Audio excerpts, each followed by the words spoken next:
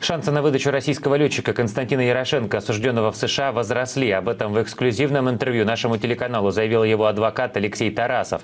По его мнению, положительно повлиять э, может американская предвыборная гонка. Срок нынешнего президента Барака Обамы подходит к концу, и есть шанс, что он может смягчить свою позицию.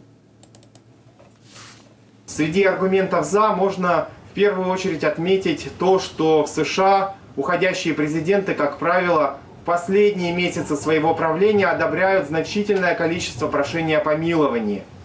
Следующий аргумент за то, что действовать э, надо именно сейчас, это то, что администрация Обамы выступает за снижение сроков наказания по наркотическим преступлениям.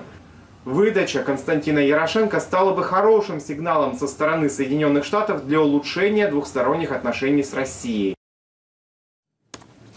Константина Ярошенко в США приговорили к 20 годам тюрьмы по обвинениям в контрабанде наркотиков. Задержали его 6 лет назад в Либерии, затем незаконно переправили в Штаты. Сам Ярошенко свою вину отрицает, арест называет провокацией, а дело сфабрикованным.